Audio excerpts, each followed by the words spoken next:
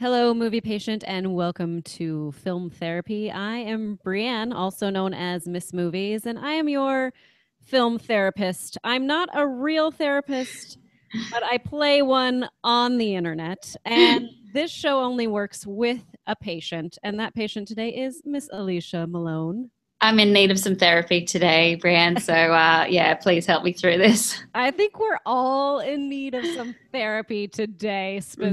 specifically. Oh, man. Um, it's been an interesting evening and Yep. beginning of today. I know, uh, but this this show felt important to do because even though sometimes when hap- things happen like this, you think, well, I feel so silly talking about movies. The fact that we're talking about movies as a source of escape and inspiration and to help you through dark times, I think it's perfect for today. Exactly. It is perfect for today. Um, so for those of you that are watching this on a replay a different day, we're we're discussing um, our undertones are about the recent election. Yes. and um yeah and our and our general feelings about everything that's happening in the united states of america at this at Mhm. this current time and so hopefully some of our films that we discussed today will kind of take us out of that and take us to another place but i do want to say for those that are experiencing some sort of need right now i'm not a therapist alicia is not a therapist so please call your doctor or go to Yeah. the emergency room or find a Get hotline help. that you can have someone to talk to. Absolutely.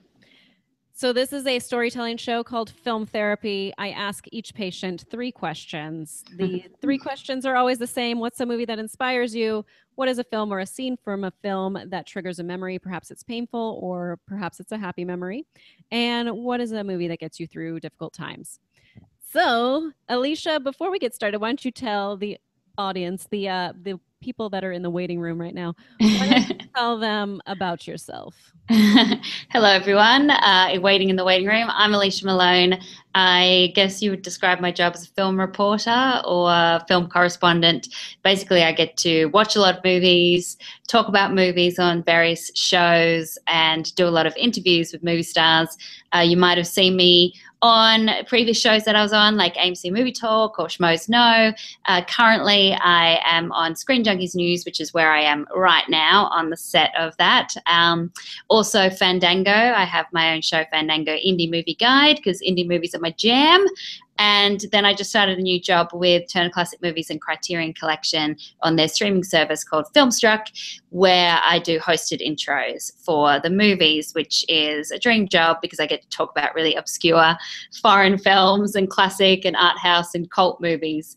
Uh, so I love it. I mean, yeah, Brian, it's like the, the, it's the ultimate job, a job that I never thought I would ever have as a kid. And I um, feel like I'm living in a dream half the time.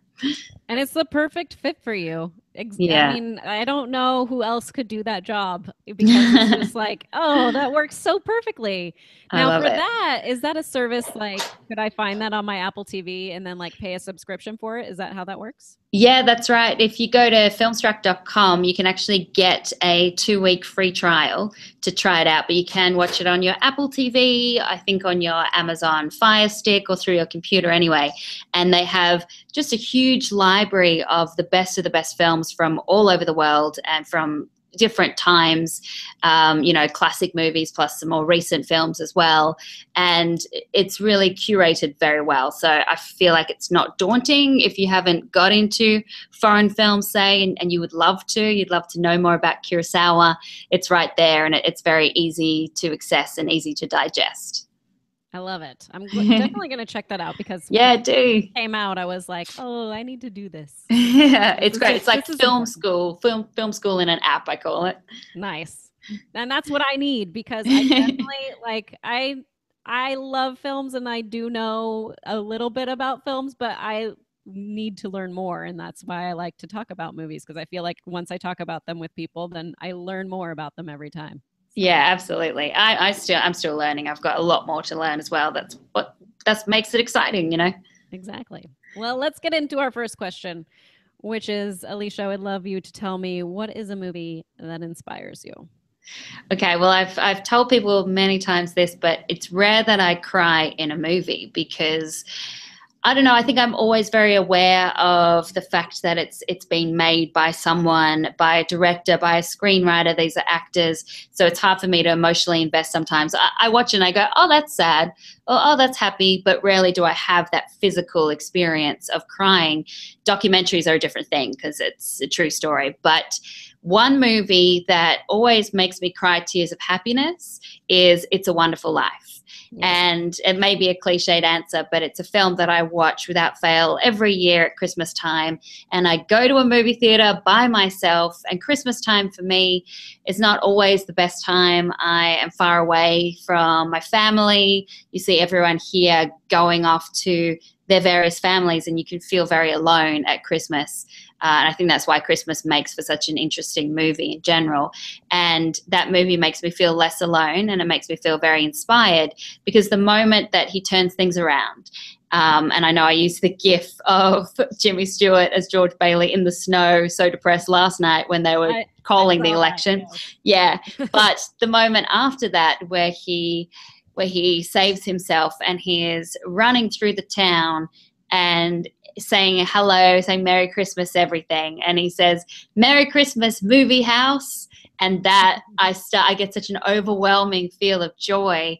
It starts to come out of my eyes every time by myself uh, watching that because I think A, he's talking about like a movie house, which is something that I love. B, just the the inspiration for life that he has again uh, after being in the darkest moments how he turned that around. I think that's really important. And also at the very end that no man is a failure who has friends that makes me cry because again when i'm far away from my family in america and they're all in australia and i feel like i have no one that reminds me that i have really good friends and sometimes friends are just as good as family or they can feel like family as well. So that movie never fails to inspire me when you came out here, what was that like? Because in my mind, when someone comes to Los Angeles, my thought is like, maybe they have enough money to like rent for two months. Yeah. Are they going to eat? Like, what happens? Did you have a job lined up? How does nope. that work?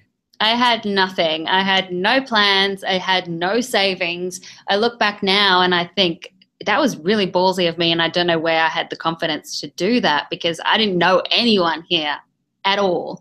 Uh, but I think growing up loving movies and escaping to movies and the idea of a fresh start is really appealing to me and the idea of a makeover.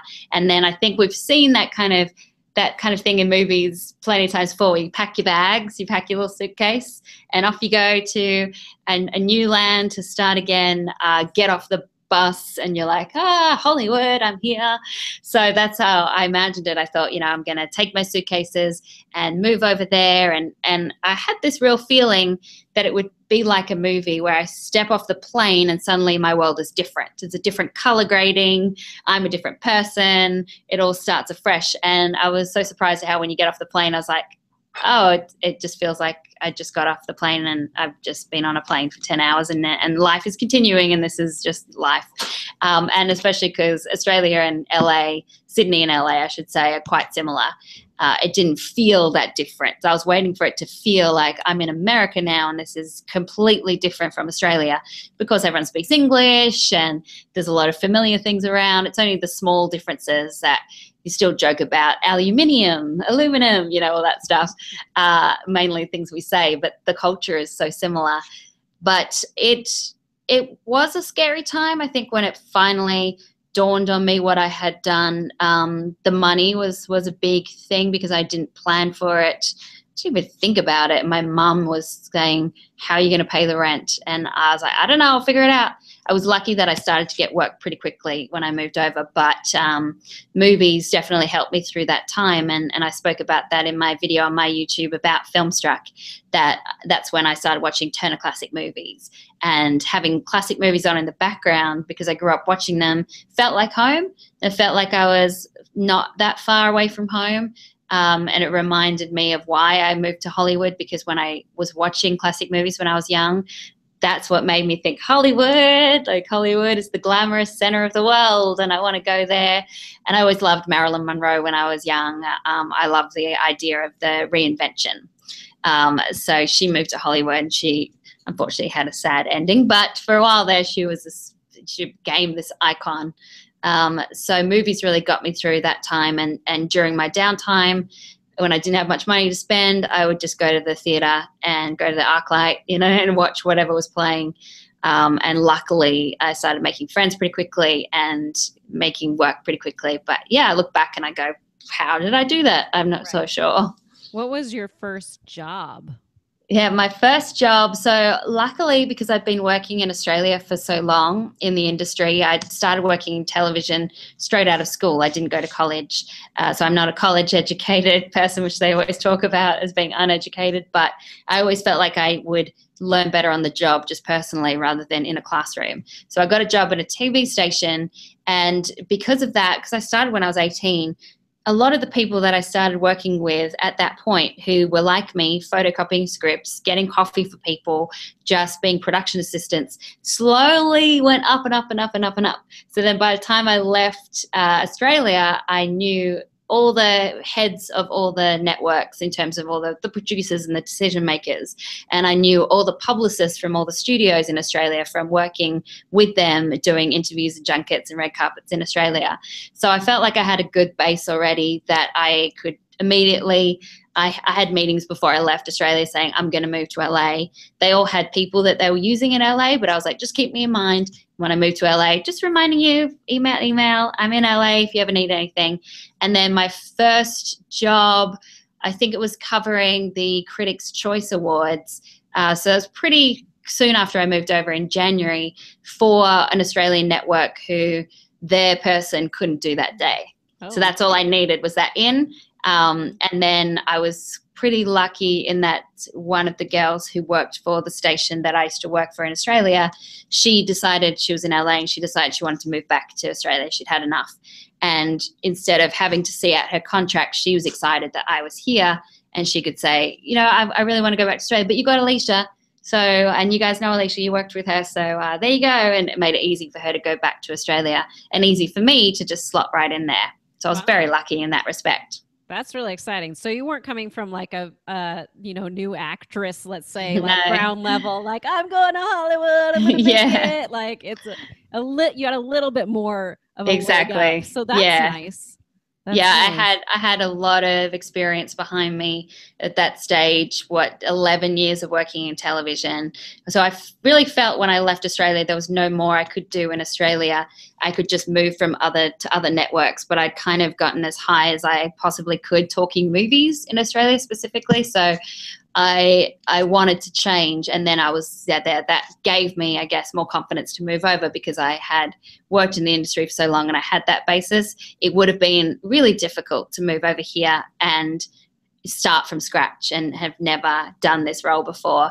But you know what it's like. You you meet people, you talk to people, you do things like this. I mean, your podcast is great. You meet people and you make connections uh, I've never been a networker, but just making friends, and then people recommend you for other things. They think of you, and it, it just right. starts to build and happen. Plus, this is great practice. Anytime you do a podcast, you know, for me, I get better every time I do something like this. It helps. Exactly. It does yeah. help. And then I'm just shocked that people like actually want to talk on my shows and come on. And I'm like, all right, awesome. Yeah, of course. no, no. And you have such a, a great way of putting people at ease and make it a conversation and not like an interview. So, um, yeah, I'm, I'm, like, as soon as you said, I was like, yes, I'm, I'm there. Just got to figure out with the schedule, but I wanted to be doing this show for sure. Oh, thank you. I'm so flattered. Let's get to our second question. Um, yes. Just in case, because I know um, for those that don't know, Alicia is at Screen Junkies right now and mm-hmm. may be called out pretty much at any moment. So I want to make sure we get everything in that we can in this amount of time. Um, so our second question is: What is a film or a scene from a film that triggers a memory for you? Perhaps it's painful, or perhaps it is happy. I'm going to go with a happy one. Uh, speaking of classic films, a movie that I grew up watching time and time again is Gentlemen Prefer Blondes. With Marilyn, Marilyn Monroe because I was obsessed with her and Jane Russell. And the scene that always triggers a memory for me when I watch it again is the very beginning of that movie with Jane and Marilyn coming out and doing We're Just Two Little Girls from Little Rock. And they have a dance to it and they do a little song to it. And me and my sister Yvette, who's a couple of years older than me, she's actually the one that introduced me a lot to indie films because she was always going to see these really bizarre movies in cinema and that started my love. But she also loved marilyn too. So we spent a long time and this was of course with vhs rewinding, pausing, playing, rewinding to learn that dance. Yeah. and we had to fight over who was Marilyn and who was Jane, although they're both great, but we both wanted to be Marilyn. She ended up winning that. So she was Marilyn, I was Jane, but Jane's super sassy and I love her. So we learned the whole dance. Of course, you have to kind of learn it backwards, watching them and trying to do it. And then we finally nailed it and we would just do it over and over again. And we'd make my other sister, Natalie, sit down and watch us do it. And she was like, oh, I'm so bored by this. We're like, no, we got it, we got it. And so every time I see Gentlemen Prefer Blondes, that opening scene, it takes me back to it. And I, I can still kind of do it along with them. And uh, I love it. So that's definitely a very happy memory. So do you have two sisters? Yeah, two older sisters, and actually, I have a younger half sister as well. Um, yeah, my two older sisters, one's in Sydney and one's in Melbourne, and then my half sister's in Brisbane in Australia. All over. All over. Yeah, and then I'm out here doing my thing. So the one that got to watch you, did she just not want to be in the thing, or no? She work? did not. She did not want to be in the performance at all. There was so many times when me and Yvette would uh, have performances and we would make our own little programs um, and force you know my sister and, and my mum to sit down and watch us. And yeah my older sister natalie she was much more into computers and uh, com- computer games video games. And so we'd have to drag her away from playing video games we're like watch us do our dance. She was like, no, nah, this is not interesting. She didn't want to be involved at all.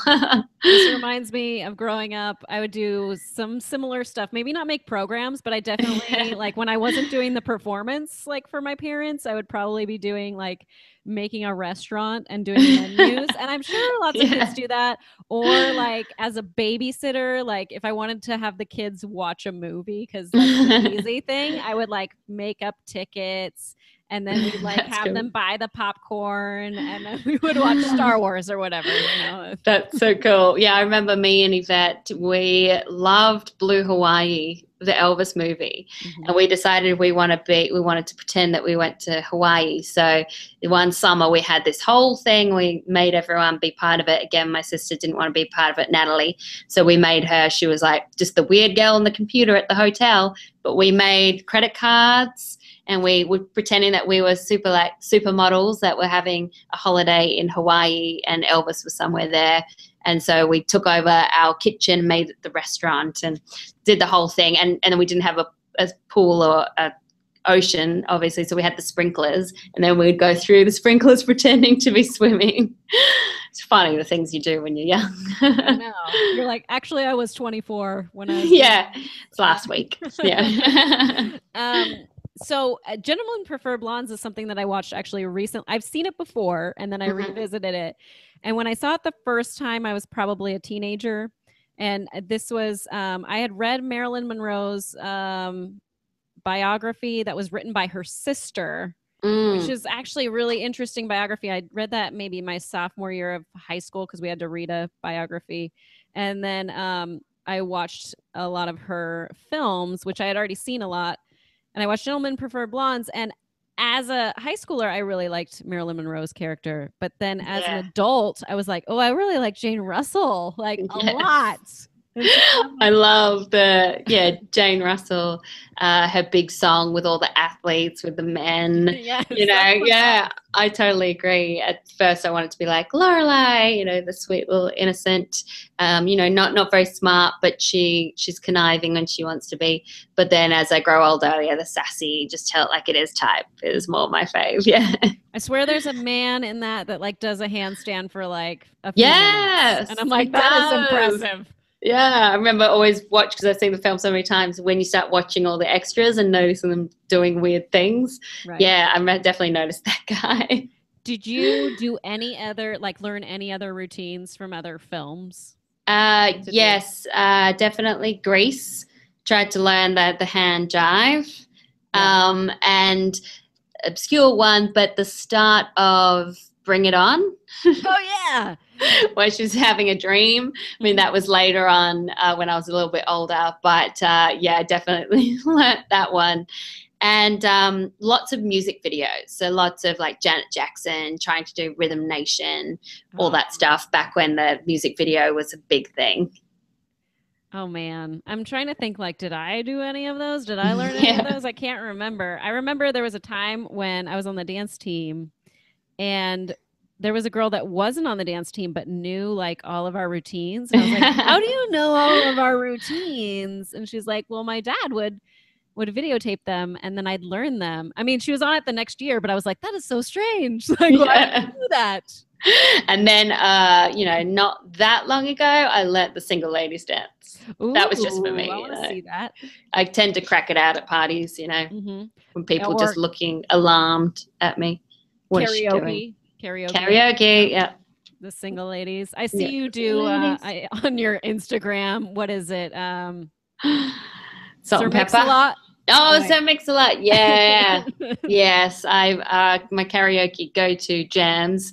Uh, Sir Mix a Lot. I like big butts and I cannot lie. And um, Ice Ice Baby as well, Vanilla Ice and Shoop, Salt-N-Pepa. Any kind of rap I love for karaoke because I can't sing at all, but I love 90s rap. yeah, if you do great. something that has mainly talking, Yeah. pretty good. You're pretty good. I can do that. Yeah. All right, let's get into our final question. Our final question is: What is a film that um, that helps you through difficult times? yeah. Um, you know, Like uh, today- one like film today, yeah like today like today and you know i i when i speak about my childhood i always talk about it in very uh, rosy terms like the performances watching classic movies but definitely had some really really tough times when i was young um, and i won't go into that because there's lots of people involved but Mhm. one film that i remember really felt like it changed my life when i saw and i saw it in theaters and it was when towards the end of uh, when I was a teenager, uh, Amelie, the French movie Amelie, and my sister Yvette took me to see that in in a theater in Sydney. I was still in Canberra, where I grew up, and I really wanted to escape Canberra, and I was dreaming of moving to Sydney. So that was my first big move, and so I went to visit my sister Yvette uh, in Sydney as a 18 year old or just about to turn 18 and i saw amelie with her and i felt like amelie looks in the theater when she's watching a movie. The big eyes staring up at the screen. I hadn't really seen anything like it. I know that a lot of people are quick to say that it's it's just very quirky um, and it doesn't have much substance to it but i love this movie so much. It makes me happy. I put it on over and over again. It's to the point where when I was living with Maude Garrett, when she would walk in and see Amelie was on my TV my bedroom, she'd be like, "What's wrong? What's going on?" Because she knew that that was always my pick me up movie, and it's probably a movie I'm going to watch tonight. Uh, but it makes me so happy. It's really charming, sweet. Uh, it's got that beautiful love story. I also like how it's got that whole through line, which is something I had to learn and something I'm still learning about uh, looking after yourself and loving yourself. And uh, there's the line where she's talking to the guy with, who, with the broken bones uh, who's painting the portrait, and he paints the same portrait every year. And she's talking about saving other people and how she wanted to help other people. And he was like, "But what about you? Who's going to save you?" You know. And I, I love that that idea. And Audrey Tautou is just so gorgeous. I I love Amelie, and it's one that I need to go back to again. Um, one of my favorites is the gnome that she sent. Yeah. So great. Oh, That's such a good it's so idea. cute. and her dad keeps getting the postcards and he's so confused about why his gnome is traveling around the world. But and that I like how she does these small little things to kind of change someone's life or, or make them Mhm. think differently about their everyday humdrum life. One of my favorite moments is when the guy comes into the cafe to meet her and she can't bring herself to go up to him and talk to him and reveal to him that that's her. And as he leaves, she literally melts into a puddle on the ground. I'm like, I think we've all felt like that before. Like, oh, puddle. Yes. definitely. Yeah. Now there is one part that I don't remember well. Maybe you can help me. I feel like she swaps out some guy's shoes to make them smaller. Yeah. Is that right? Yeah, yeah. So there's the guy that runs the vegetable stand who is really mean and he's very mean to his assistant. Uh, he makes fun of him all the time. And Amelie sees this and she decides she's going to teach him a lesson. So she breaks into his apartment and then she just makes small changes to all his things just to drive him crazy. She sets his alarm clock early. Um, she puts she replaces toothpaste with something, and some kind of cream. Um, and then she uh, she changes the doorknobs from one side to the other, so he's really confused when he goes to go down and it's a twist. And then yeah, she makes his shoes smaller, and um, I think his slippers as well, so that he's just like I think he makes his slippers smaller, and then she does changes his laces, and he's just so confused about what's going on. And I love that that he's just so discombobulated about everything that's happened that he ends up just letting his assistant take over and it's a much nicer happier place Ah, I couldn't remember what the end of it was. Like why was that? yeah And then yes that's hilarious. Um, she's like the ultimate gaslighter in that like scenario. She's perfect. And uh, there's another scene which is great where she takes the hold of the blind guy who's walking across the road and then she picks him up, she walks with him, and she's explaining everything that's going on, the little tiny little details. And then after she leaves, his whole world brightens because he can feels like he can see what's going on and that i think that's really sweet and then i love at the end she ends up saving herself and then she ends up um, finding love of her life and so it's all very very happy and that's why it leaves me in such a great mood at the end Ah, I'm gonna. I need to watch it again, and I, we own it, so I gotta just find where it is. Yeah. It's one of those. Watch where it. did I put that? Because I know I have it. watch it again and then let me know what you think of it when you watch it again Definitely. Thank you so much, Alicia, for being on the session of film therapy. Where can the other patients find you? I already feel better after my trip to this therapist. Uh, you can find me on Twitter at Alicia Malone. I'm on Instagram as well, Alicia Malone. You can look up YouTube. Uh, Movies are my jam is my username, and uh, where else? So just AliciaMalone.com. I'm all over. You'll you'll see me pop up. Yeah. I like I like getting Alicia Malone or Malone. Oh, Malone Mail. Yes. Yeah. I've got a little newsletter that I try to do every week. Sometimes I get crazy busy and I don't have a chance. But Malone Mail, it's if you go to aliciamalone.com, you can see how to subscribe. But I just try and put out my indie recommendations for the week, uh, a classic recommendation, a little letter about what I've been up to, and uh, how to support women in film too. Yes, and right now, Girls on Film has a great series of Not Okay. That is something that everyone should be checking out. Yes. And that is that on your channel or is that on HitFix? That is actually, I just put all three videos on my YouTube channel. So if you go to Movies on My Jam, please watch. It's called Girls on Film, hashtag not okay. And it's some very brave women sharing their personal stories about sexism, sex abuse, sexual harassment, um, and hoping that by talking about it, we can start to change the world a little bit, have a conversation about it, and have less stigma, and then have pe- more people aware of it. Yes, it's Hopefully, yeah. This is very important. And um, I subscribe because I recently realized I was not subscribed to your channel, and then I subscribed. So I, ri- I righted that wrong. I was like, wow, how, how did that happen? So I apologize. But anyways, No, ladies and gentlemen, you can find me on Twitter at Miss Movies. Um, thank you for joining us today. I will see you next time on our next session of film therapy. Bye. Bye. Bye.